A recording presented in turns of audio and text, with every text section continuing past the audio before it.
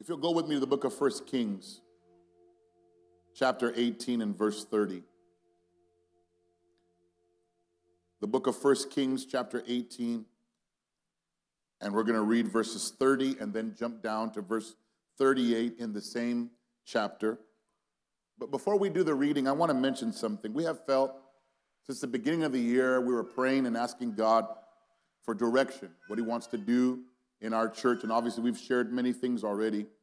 But I have felt from the Lord that in this month of March, that we focus a little bit more on the idea of consecration, a drawing closer to God, a separating ourselves possibly from certain things that crowd our minds, crowd our hearts, and possibly even crowd our lives, that keep us from developing a more intimate relationship with the Lord Jesus Christ. And so in prayer, that was, it was impressed upon me last month that we give an entire week to the Lord of consecration. And so at the end of this month, the, the days 25th through the 28th, that's a Monday through a Thursday, we're calling the entire church to a time of consecration. We're going to be here Monday, Tuesday, Wednesday, and Thursday night at 7 p.m. to pray. We're going to pray. As a church, as a body of believers, someone who was like, oh, I don't like to pray. Well, this is that week where you learn how to pray. And we're going to help you and encourage you because I believe more than ever before we need to draw closer to Jesus. We need to separate ourselves from people and things, possibly that we've tolerated, that we've played around with, that we haven't totally disconnected from. And so we're calling the church to a week of consecration. This is for everybody. We will be here. We're calling the ministry to be here with their wives and families, the leadership, every volunteer, every member of this church. This is not a week off. You know, I know on Thursday nights we normally have Bible study, and someone's like, ooh, finally a day off. No, no, no, no, no, no, no.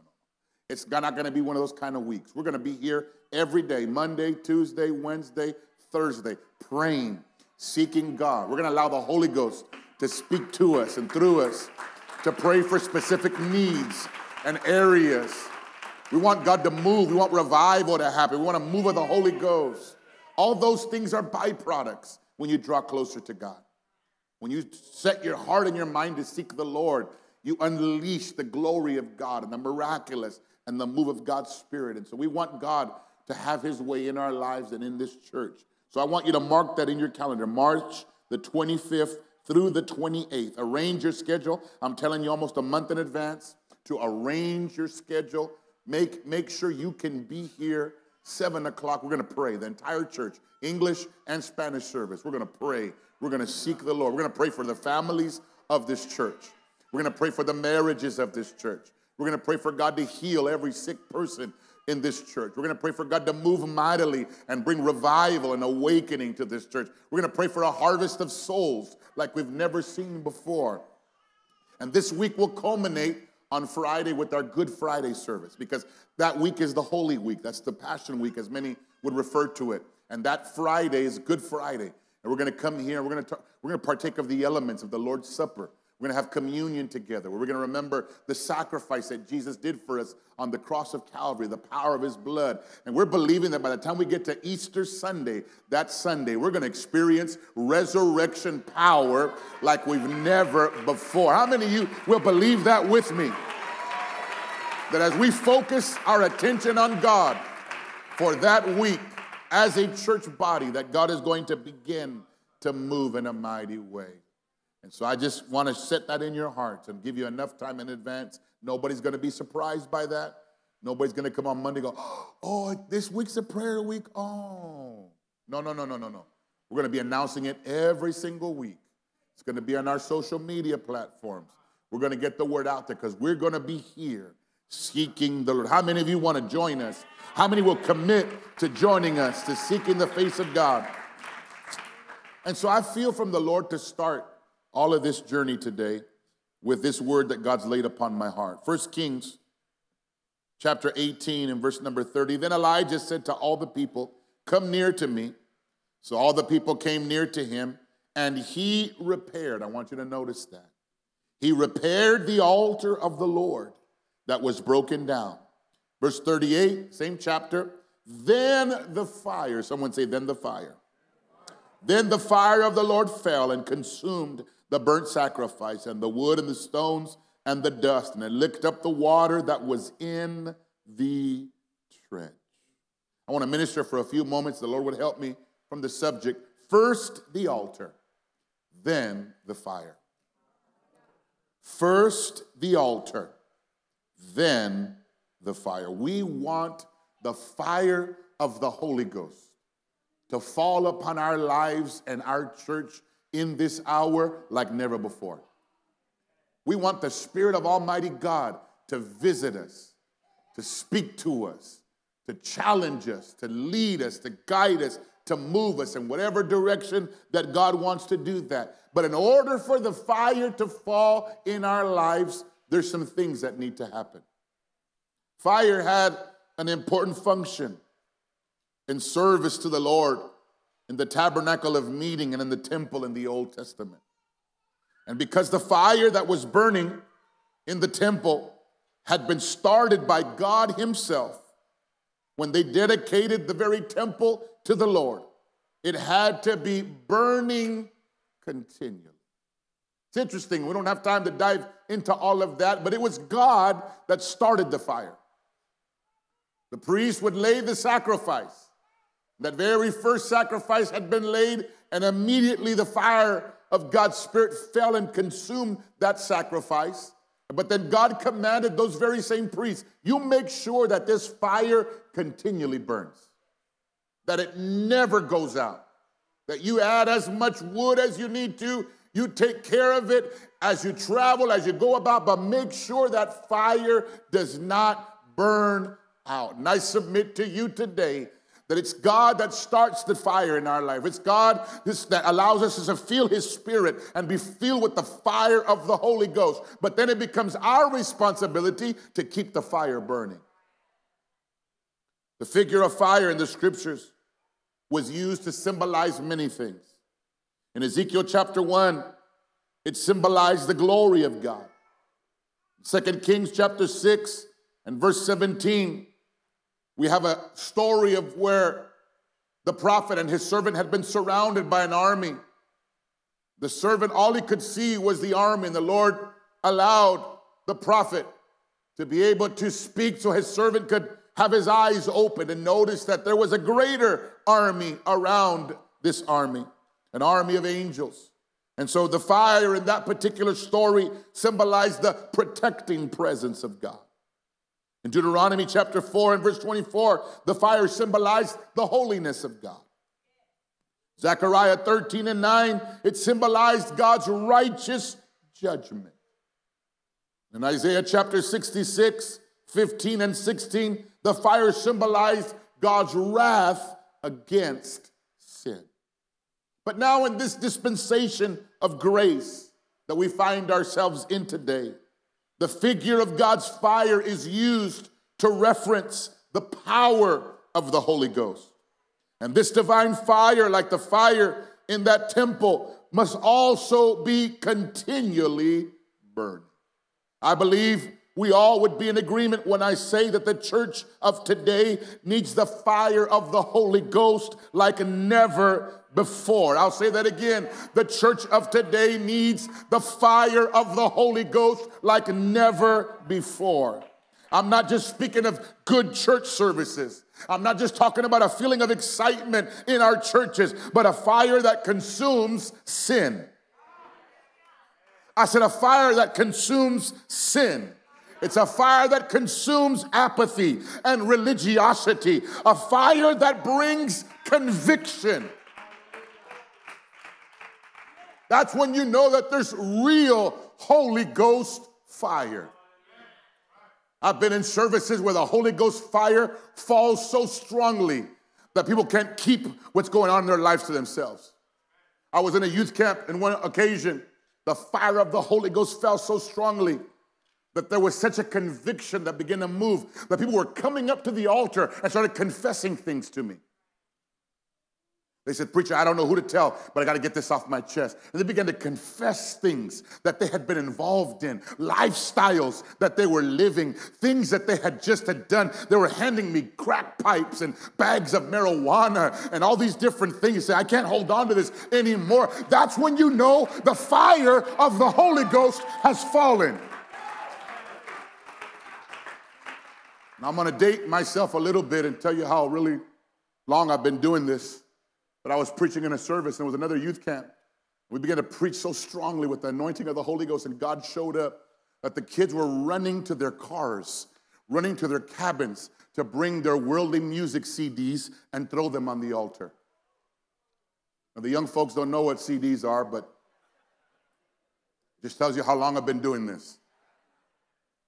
There was such a conviction that fell on that entire camp that they were running to their cars and bringing their books and, uh, and all these CDs and throwing them. Some kids were getting so convicted, they were breaking them and throwing them on the altar, going to their cabins and, and bringing things. There was a young man that brought a bottle of vodka and laid it on the platform. He said, Preacher, I'm done. I can't do this anymore. I'm done. That's the kind of fire I want to fall in this church. Oh, I got some nervous clappers right there, but I'll say that again. That's the kind of fire that we need to fall in this church. Where folks get so uncomfortable and realize, oh, I can't live this way anymore. I can't do these kinds of things anymore. I can't be around those kind of people anymore because God is calling me to, this is the fire of the Holy Ghost. That's what this church needs. That's what our city needs.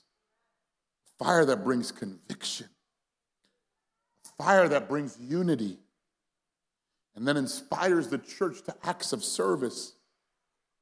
A fire that genuinely draws us closer to God. Let me just say this this fire cannot be manufactured by man.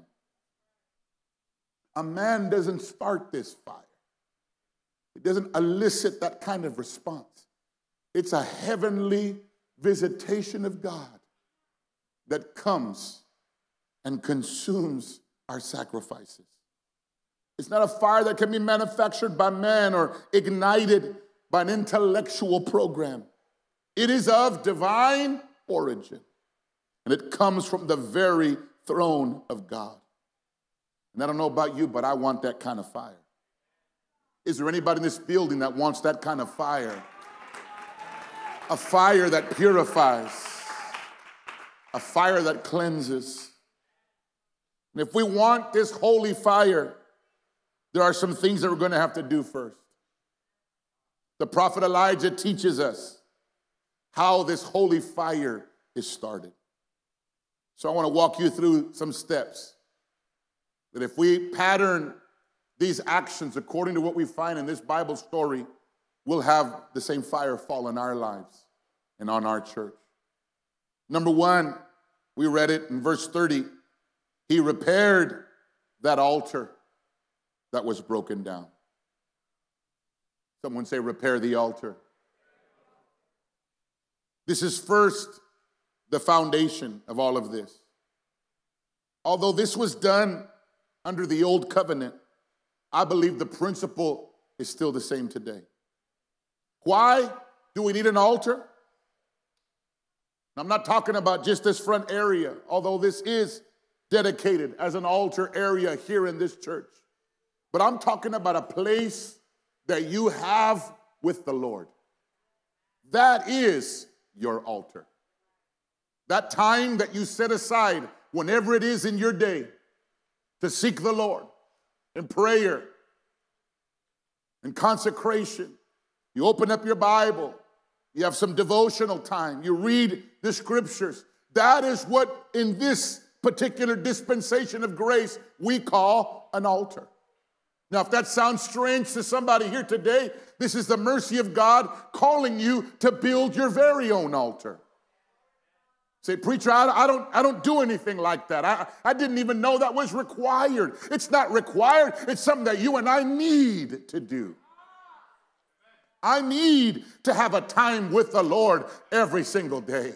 I need to be in his presence. I need for his love to fill my life. I need the reassurance that he is with me walking every day. I need to be able to open up my Bible and have principles that I can apply to my life and live out every single day. That's the purpose of an altar. Promise you, if you have an altar, you won't struggle as much in your Christian life. I know the altar builders in this church. I know who they are. I watch and I observe. And so, altar builders don't struggle with their walk with God. That doesn't mean they're not visited by difficulties and tragedies and suffering. That just means that they keep going no matter what's going on. I'm inviting everybody under the sound of my voice become an altar builder. Get up every morning, set your alarm clock a half an hour earlier, an hour earlier to seek the Lord. Stay up a little bit later at night or whatever you got to do to be able to seek God in the stillness of the morning or the stillness of the night, whatever time best suits you. But you got to get a hold of God and talk to God and let Him talk to you. That's how you build an altar. But let's get a little bit deeper here today. Why do we need an altar? Let me put it to you very simply. You need an altar to die on it. In the Old Testament, if you found an altar, you found a place of death. If you looked at an altar in the Old Testament a little bit closer, you'd find, you'd find remains of an animal on there. Unfortunately, in today's altar, people gather simply for blessings and things to be added to their lives. The altar is not the gathering place, my dear brother and friend, for the Bless Me Club. Well, I'm going to go to my altar to get a blessing. Well, why don't you throw yourself on the altar first? And say, Jesus, here are my hangups. Here are my habits. Here are my issues. Here are the areas of my life that need improvement. And if you'll get on that altar and die, once that sacrifice hits that altar, guess what happens? The blessing will come, the fire will fall, the Holy Ghost will fall.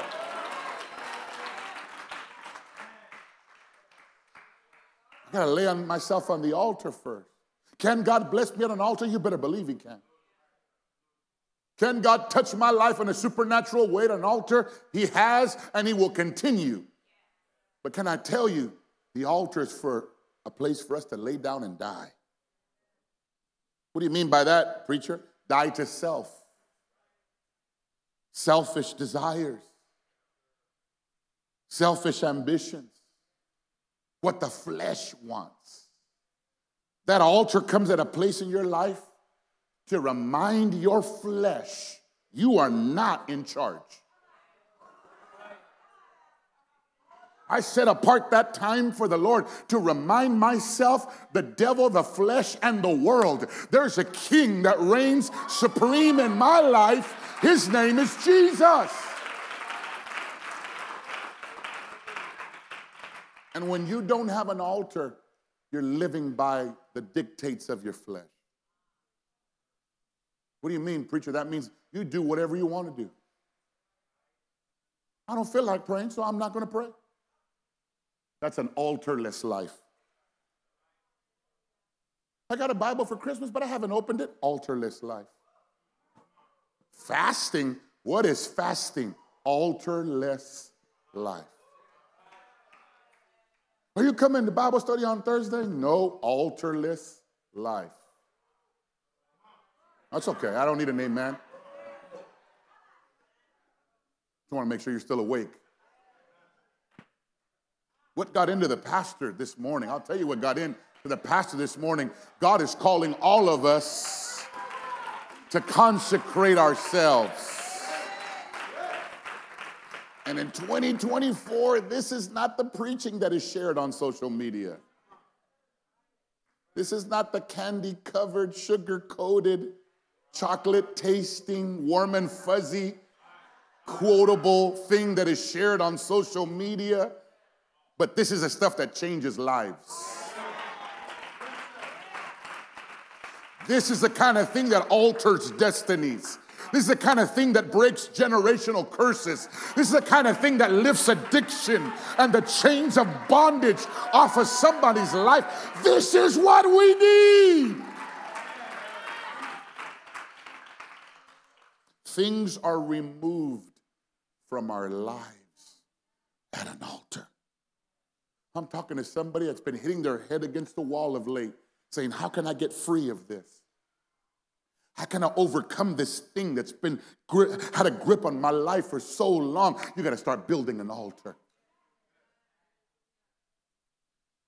When you have been to an altar and you've died to self, it's no longer you who live, but just like the scripture says, it's Christ who lives in you.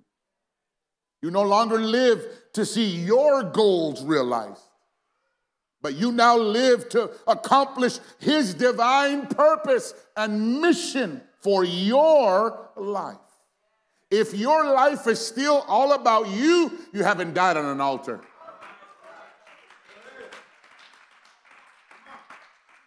Somebody just said, I picked the wrong Sunday to come to church.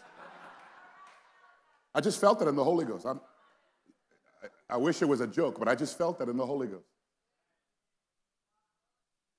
Man, I wish that I came to that service where he's talking about bless me and the good things. You'll get the blessing and the good things when you go through the altar. How do you know that, preacher? Because that's what happened to many of us. We decided, I'm going to build an altar. I'm going to draw myself closer to Jesus. I'm going to do whatever it takes every day to be closer to Jesus. And guess what happened? Things started falling off of our lives. Habits became broken. Lifestyles began to change. The typology of the altar speaks of our heart. You see, God wants us to repair the altar of our heart. Did you know that we all have an altar in our heart? The question is who is the God of that altar? Could it be our possessions, our family, our money? For some, it might even be their ministry. Or am I the God of my altar? But I have to ask myself the question is Jesus really the God of my altar? Am I living truly for Him? Or am I just living for myself? Am I living to accomplish? Am I living to gain access to things? I living simply to add things to my life? Then that simply means I need an altar. Maybe there's some of us in this room that need to repair our broken down altar. That at one time we were focused on the things of God. At one time we were seeking the Lord with all of our heart. And this is what we have as an example of our text here today that somebody had to stand up and repair the broken down altar. I'm calling in the Holy Ghost here today to every single one of us, this preacher included, that if it's needed, we need to repair our altar. We need to get that prayer life back together again. We need to make it a habit of getting into the scriptures every single day. We need to live a Christ centered, Christ focused life. What am I trying to say here today? The next thing I want you to know is I need to rebuild that altar that has been broken down because of sin and neglect. Those are the two reasons why altars get broken down. The first, in my opinion, happens because of neglect. We just stop praying. We just, it's no longer a habit. We don't see the importance of seeking the face of God. And so we neglect our altar. If you've neglected your altar, it's time to repair it today. You neglected that time with the Lord, but Pastor, we're just, we're just so busy. That's the problem. We will make time for everything else but the Lord. Your kid got a sports thing, man, you'll get off early from work. The boss says, hey, that's, that's your pay. Hey, but I got to be there. But, Pastor, that's my son. That's my daughter. You have that son and daughter because of.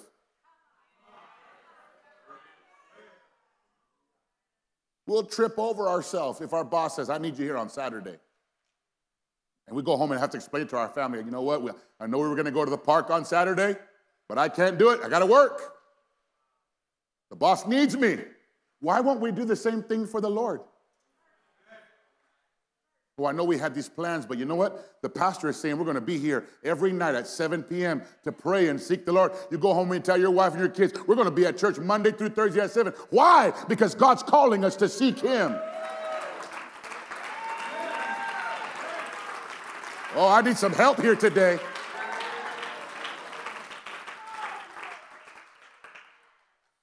I there's a discomfort that just hit this building.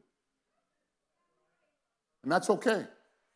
Because my job is to afflict the comfortable and to comfort the afflicted. And some of us have been coasting for way too long, making it someone else's job to pray. Well, pray for me, brother, pray for me. Yes, but when are you going to start praying for yourself?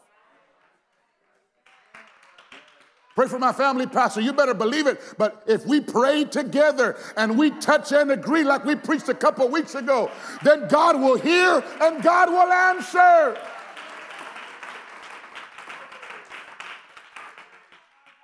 I know this is in the will of God now.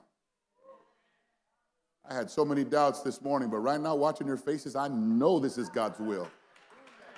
I know it. I feel it in my bones. Because someone's about to make some decisions here today that are going to change your life forever. Some, somebody's about to finally get free and delivered after this service is over. Sin keeps me from God. Someone that is walking with God's going to want to be closer to Him. But when sin creeps into our life, we have example after example in our Bible. You can go all the way to the beginning in Genesis and see that when sin creeps in to the heart of a human being, it causes us to distance ourselves from God. We don't want to be in God's presence because there's sin there.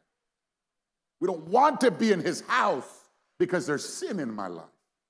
I don't want to be around his people. Why? Because there's sin. Because sin creates a divide between me and God and me and my altar it then becomes easier to just go through the motions and do things without stopping at the altar.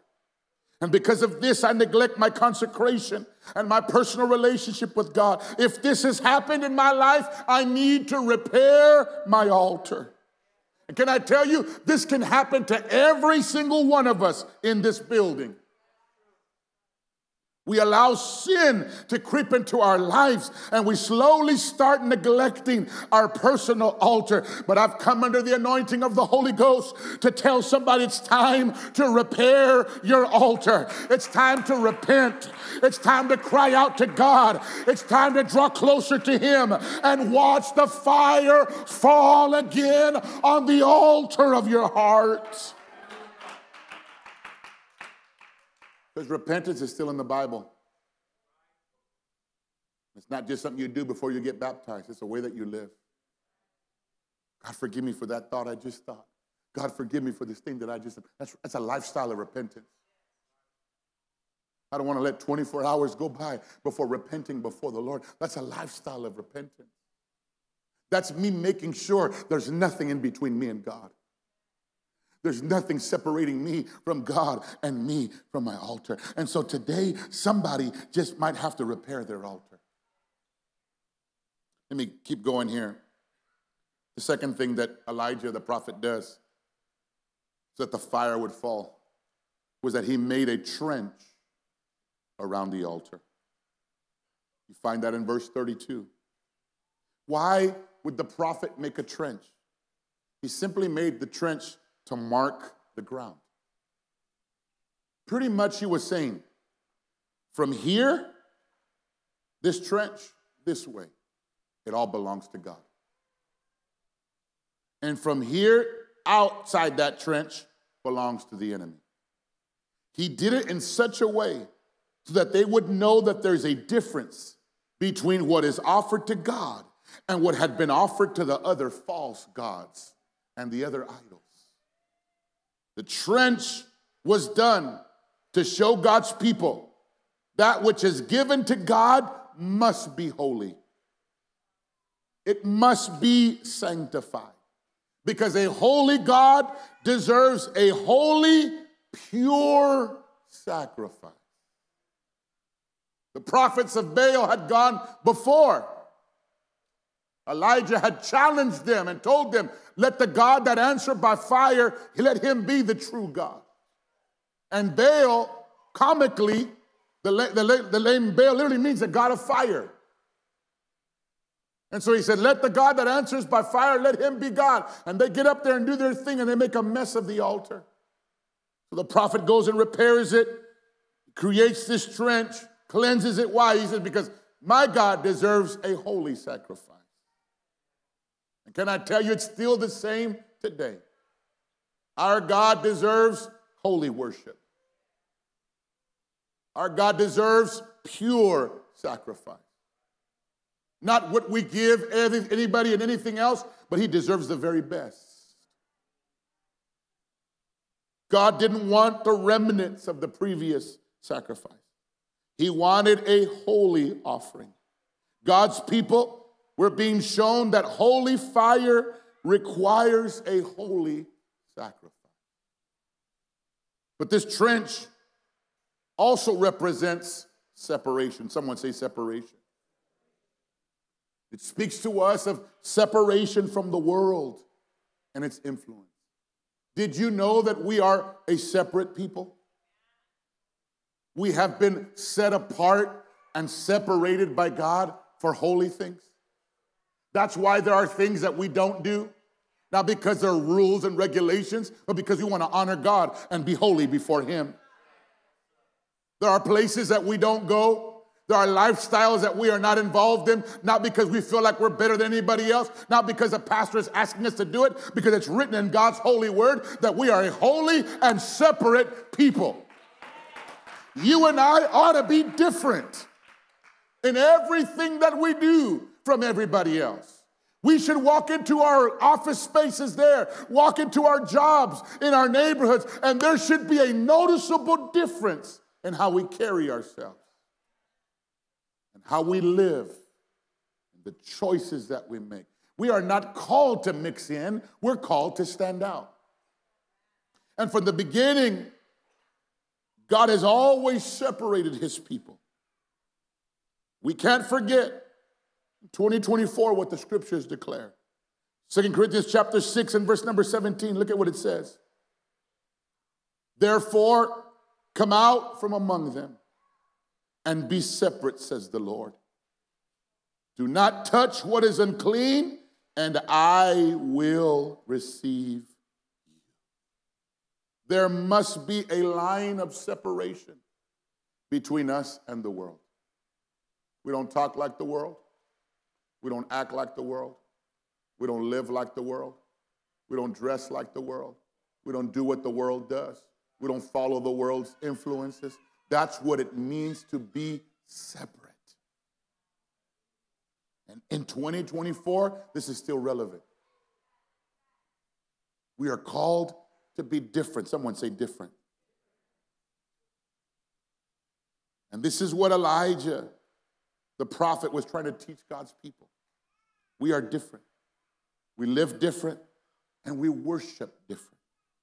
We are in this world, but hear me, we're not of this world. The old saints used to say, This world is not my home.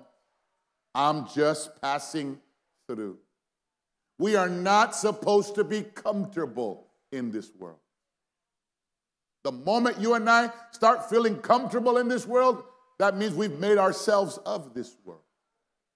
There should always be a constant discomfort in you. When you see the world around you, when you see how people think and when you see how they act and how they live, there should be a discomfort in us. Why? Because we are not from here, we're from another world. And so here the prophet is saying if you're going to sacrifice something to God, if you're going to give something to God, it must be holy, can't be blemished, can't be less than. It must be holy. Why? Because a strange sacrifice would produce a strange fire. But a holy sacrifice produces a holy fire. And if we want God's fire to fall upon our lives, these are the things that we're going to need to do. Friend that is visiting here today, friend that hasn't quite made Jesus the Lord of your life and surrendered your life, can I encourage you today? Make up in your mind that you're going to serve the Lord and cast away whatever it is that you have to cast away. Turn your back on whatever you have to turn your back on and say, God, help me to make those changes that I need to make. Help me to take those positive steps towards you. That's the only way it's going to work. You can't hold on to the things of this world and get a hold of God's promises at the same time. You're going to have to let go of one. And I pray today that someone's hearing me, hearing the word of the Lord, that you let go of the things of the world. You let go of that lifestyle. You let go of that way of thinking. You let go of that way of living and saying, God, I want to fully surrender to you. I want to build my altar. I want to, I want your fire, the fire of your spirit, your presence to fall upon my life and my family. When we talk about repairing the altar, it's literally in reference to true repentance. The prophet understood that the fire would not fall on an impure, broken down altar, but he took time to repair it. Can I just say that if we're going to see genuine revival in our church and in our city, we must take time to repent. We must acknowledge that there's some things in our lives that grieve the heart of God. You've got to acknowledge that there's some things that may possibly have attached themselves to my life that are contrary to God's word and God's will, that I got to repent. I know it's not talked about too much today, and it's unfortunate. But I'm here to tell you that if we're going to see a visitation of God's Spirit like never before, it includes repentance. It's being sorry for our sins but sorry enough that we stop doing them. Parents, you know what I'm talking about when your kid says sorry for the same thing? You're kind of like, okay, sorry, but okay, are you going to stop doing it? I'm sorry, Dad. I'm sorry, Mom. That's wonderful, but are you going to stop? And some of us are the same way with God. Lord, I'm sorry. God's like, that's great. Are you going to stop? Are you going to stop going back to that relationship? Are you going to stop going to the bar? Are you going to stop going back and getting your fix? Are you going to stop doing those things and making those kind of decisions? Because repentance says, I'm done. No more. I'm not going down that road anymore. I'm not getting involved in that stuff anymore. I'm not getting my life get wrapped up in those things. I'm going to repent. I'm going to turn my back and I'm going to follow Jesus with everything that I have. And I know that there's some of us that are uncomfortable in this room, but there's somebody hearing me right now that says, That's what I'm looking for. I want to be free of this once and for all. I want to be changed. I want to be delivered. I want Jesus to do something new in my life. I'm talking to you. Today could be your day. All you have to do is come to a place of repentance and say, God, I'm done. And that's why some of us can't repent because we're not done yet. I'm not done yet, Pastor. I know. That's why you can't repent. But when you're done, I'm done. I'm done being an alcoholic. I'm done being an addict. I'm done with that life. I'm done being overwhelmed by sin. I'm done being tied up in depression. I'm done living confused. When you're done, then you can repent. And when you repent, the fire will fall upon your life and fill every emptiness and every area of your heart. But it has to come through repentance. Someone say repentance. Revival doesn't start on a platform, it starts in prayer. What are you trying to tell us today, Pastor? Let me give this to you. God will begin to move like never before when we begin to seek Him like never before. I'll say that again. God will begin to move like never before when we begin to seek Him like never before. We need a mighty visitation of the Holy Ghost in this hour where every sick person's healed, where every broken family is restored, where every devastated life finds purpose and direction. That's the kind of revival that we want to see happen. But hear me, we're not going to see God move like never before until we seek Him like never before. Until we add another half hour to our prayer. Until we add a day of fasting to our week. Until we add another day of fasting. Until we seek God like we never have before. But we get off social media for a period of time and say, that's been wasting too much of my time. I'm going to set my heart to seek the Lord. And we turn off the TV and we maybe put a pause on that hobby just for a little bit because it's taking up more of my time and I need to seek God like I never have before. That's when you know that we're serious. For someone's like, social media, Pastor? Oh. I think it's funny. Again, you can stop the record button if you feel like it, guys back there. But I think it's funny when someone says, I'm getting off for social media right now, and the next day they're liking and they're commenting, you're like,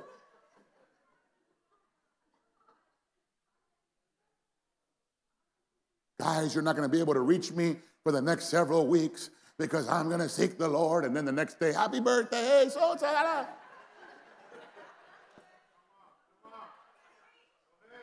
Okay, press the record button. Now we're back. If we're going to do it, let's do it. And what you do, you don't have to talk about it. God sees it, and that's all that matters. You don't have to explain it, you don't have to go into details. You just seek the Lord with all of your heart. Who cares, who knows, and who doesn't? I'm trying to draw closer to Jesus.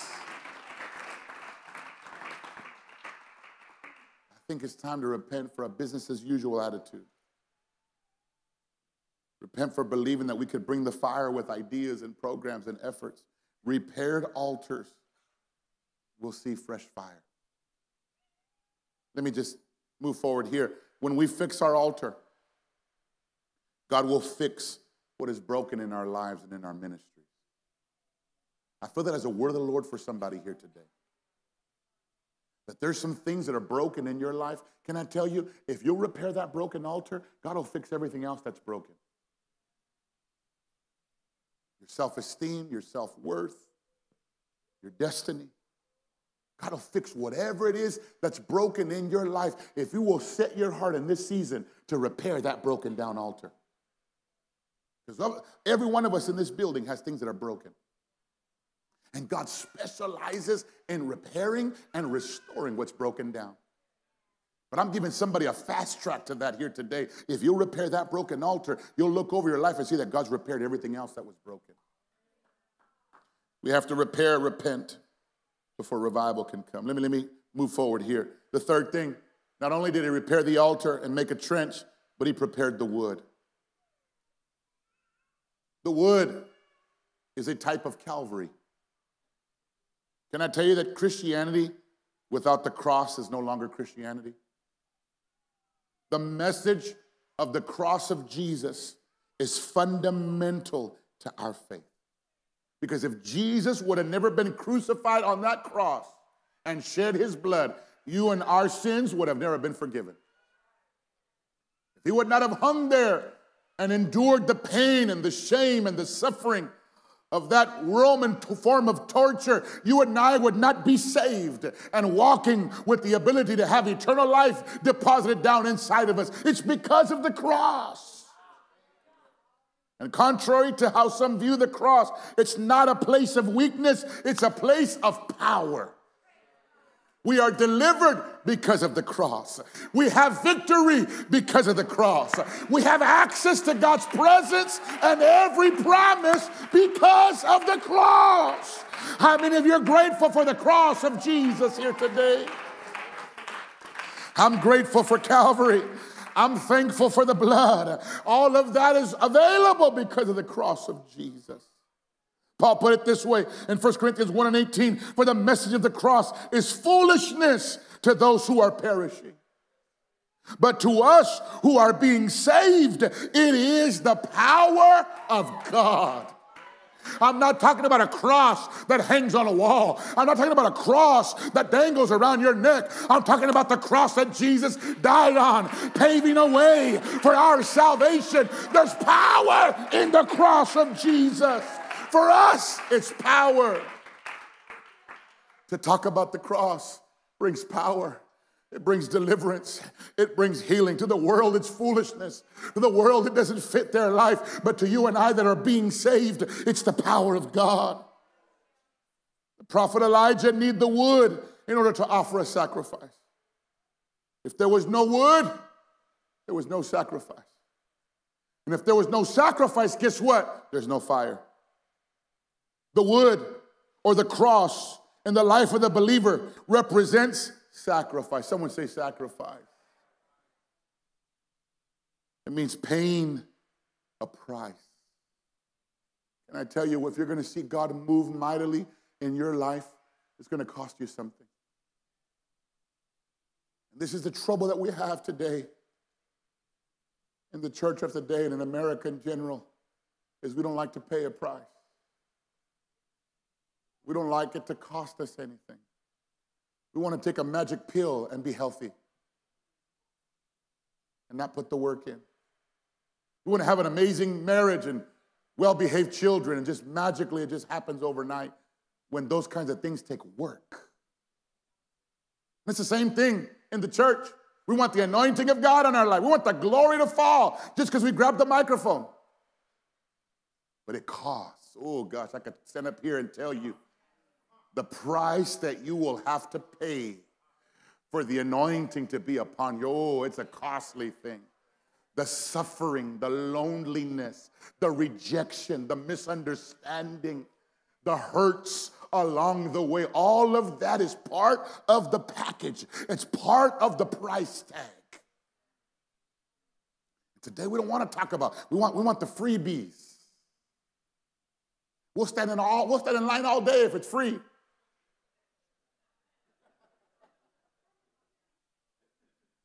It's free. What, what, what is it? I don't know, but it's free. Just get in line.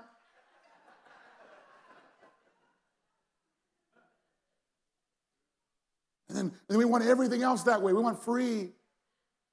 But how many of you know that, that good things cost? Valuable things cost.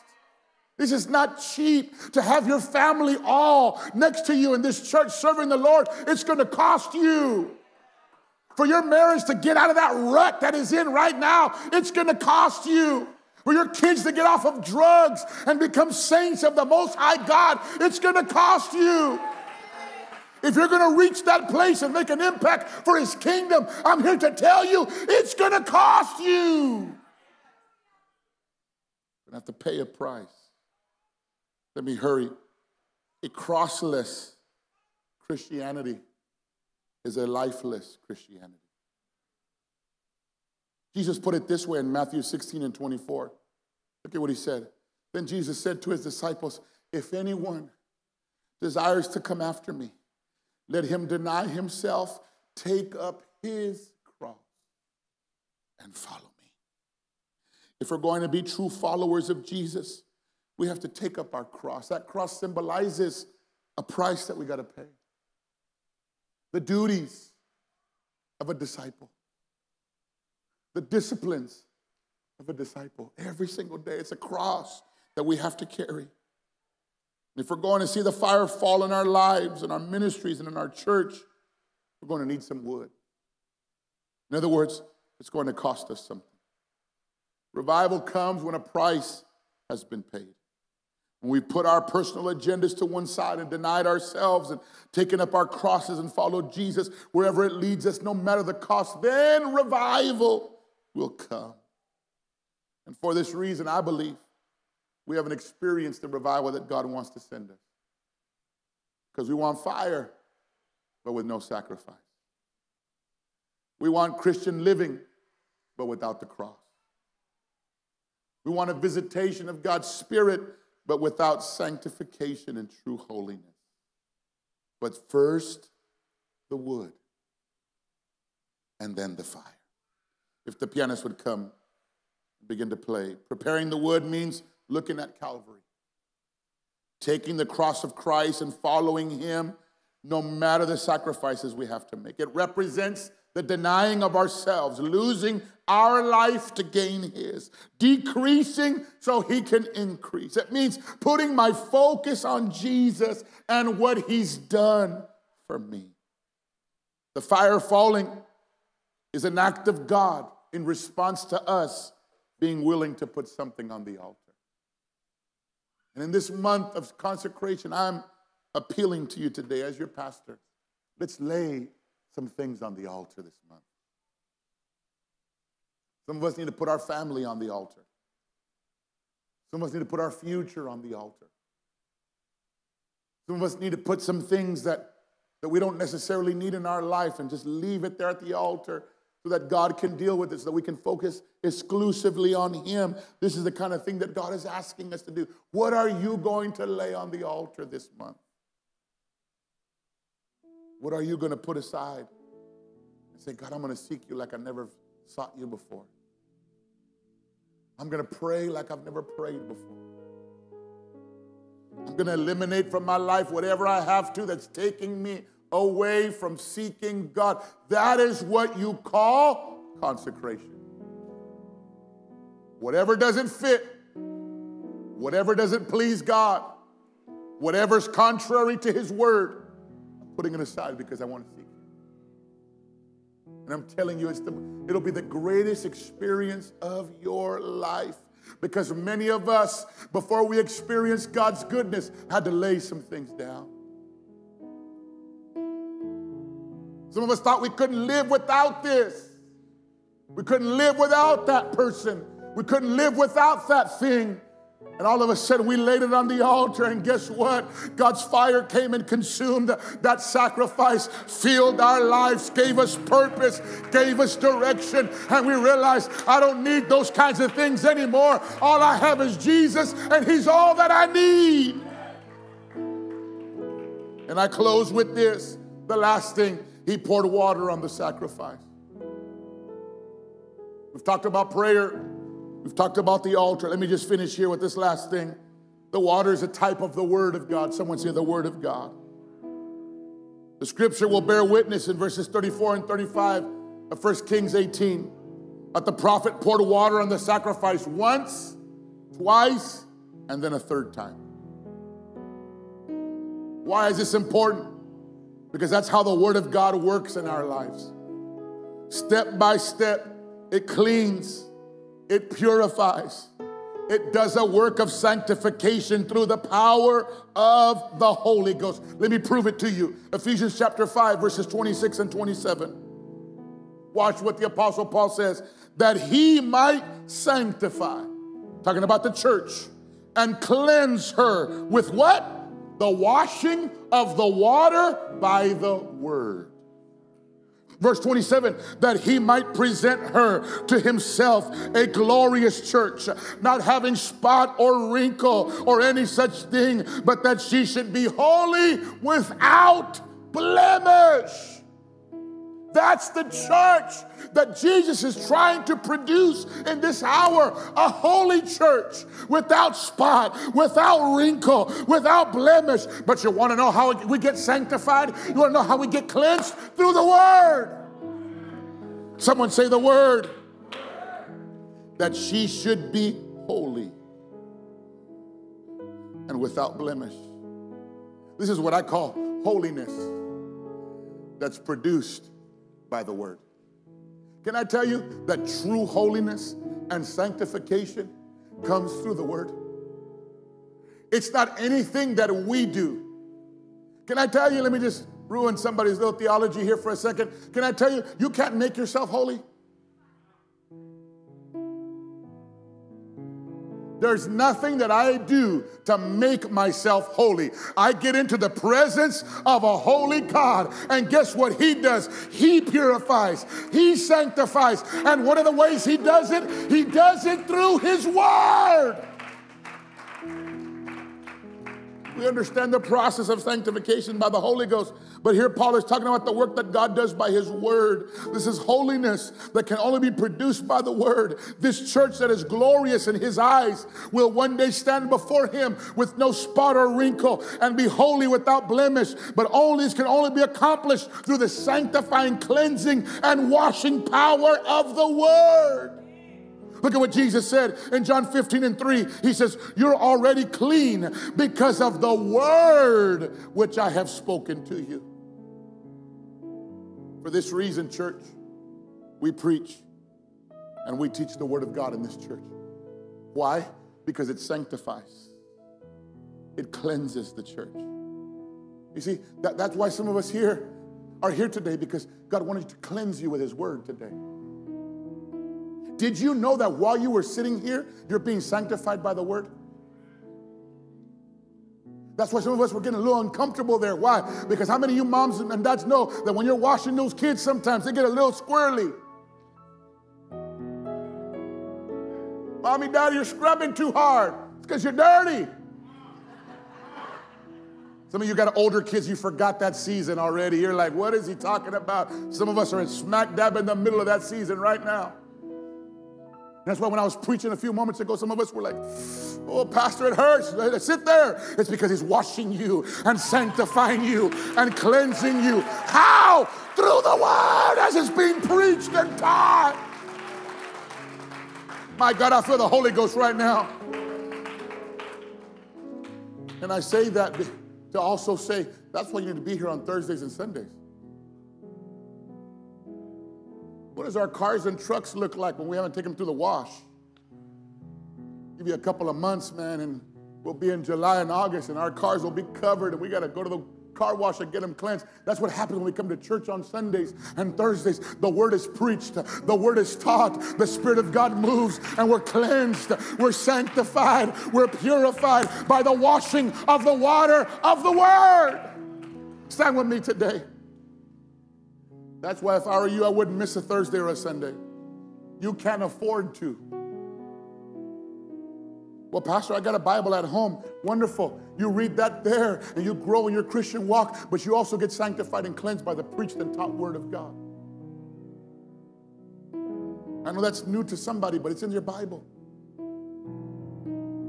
So today, the Word of God has been sanctifying us, it's been cleansing us. And like medicine, we don't want to take it, but we need it. And maybe somebody walked in here today and said, I, I was looking for a more upbeat message. This message has the power to change your life forever. And I tell you by the Holy Ghost that today there's going to, there's going to be a shift that's going to happen. For so many people in this room, where we're going to set ourselves to seek the Lord through prayer, through the word. So we'll repair our altars. We'll repent before the Lord separate ourselves. We'll let the water come of His word and sanctify us and cleanse us. And then what's going to happen? The fire is going to fall. How will we know the fire will, is going to fall, Pastor? You'll know when it comes. But before that happens, we got to do our part. So I share this message with you today, not because I'm angry, not because I'm upset. I do it by obedience to the word of the Lord. That God is trying to prepare this church, prepare us for a supernatural things. But we got to also do our part. We got to consecrate ourselves. We got to pick up our prayer life. We got to pick up our Bible again get into that word more than we ever have before. Got to turn off the TV. Got to shut off the Wi Fi for a couple hours. Say, guys, we're going to get together and study the word together as a family. We're going to seek the Lord. Why? Because we want our children to know that Jesus is a priority for us. And ingrain in them the necessity of getting into His Word. I wonder if we could throw up our hands for just a few moments right now. Could you close your eyes as the Holy Ghost has already been touching hearts and searching hearts right now? Conviction is beginning to rise up in many of us in this room today in recognition that there's some things that we got to lay aside if we're going to draw closer to the Lord. But right now, for a few moments, I want you to lift up those hands and say, God, I want to draw closer to you. Whatever it takes, Lord, I want to draw closer to you. Can you do that wherever you find yourself right now in your relationship with the Lord? Could you throw those hands up and surrender and your eyes closed and say, God, I want to draw closer to you. I, want to draw closer to you today, Lord. I, I, there's some things, God, that have been trying to hold me back, but I'm putting all that to one side because my heart desires to draw closer to you. I wonder if somebody could just lift up their voices just for a few more moments. If the fire is going to fall, if God's Spirit is going to move, if miracles are going to happen, if blessings are going to flow, we got to first build up an altar. We're going to make up in our minds, God, we're going to seek you. We're going to seek you like we never have before, at least for some, like we haven't in a long time. God, we're going to seek you with everything that we have. We've got distracted. We've gotten complacent. We've neglected our spiritual disciplines. But Lord, you're calling us to consecration. And we're setting our hearts and our minds to seek you. In the mighty name of Jesus. Hallelujah, hallelujah, hallelujah. Hallelujah. Here's what I feel to do today in the Holy Ghost. I want to invite to this altar area here today everyone in this building that is serious about seeking the Lord. That saying, Pastor, I, I, I may not know all these things that you're talking about, but, but I, I want to draw closer to the Lord. And, and in this month, I'm going to make an effort, whatever that looks like to draw closer to Him. If that's you, I want you to come and stand at this.